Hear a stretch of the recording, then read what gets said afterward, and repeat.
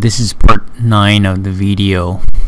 Um, so we're gonna test by sending email out to the internet. First of all I'm gonna show you the MX record for the Delaris.com domain. I'm going to go to mxtoolbox.com and enter my domain name which is Delaris.com and now you can see that the the MX record is exchange.delaris.com which point to the um, the correct IP address. So now I'm going to log into the mailbox OWA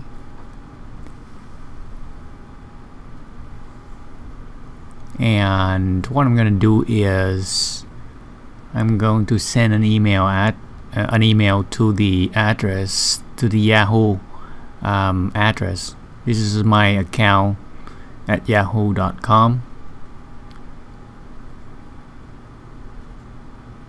so it's gonna be test sending to the internet. I'm gonna send the email and make sure it's already sent in the sent item. Now I'm gonna log into the Yahoo email account.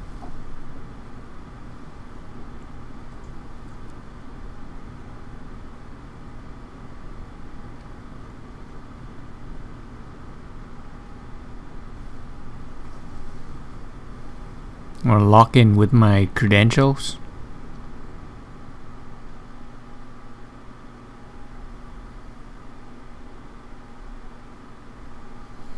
So I see the email that was sent from the Exchange server. Now I'm gonna I'm gonna reply to that email.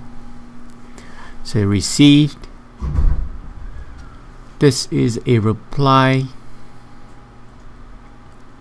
to test if it works. Sent. So now the email has been sent.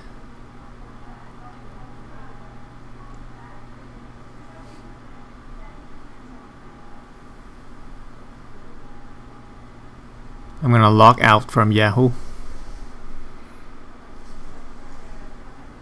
And I go back here to my exchange and refresh that. The email should arrive shortly. There you go. The email is arrived. I can see that. Receive. This is a reply to test if it works. So email send and receive works. That's it for today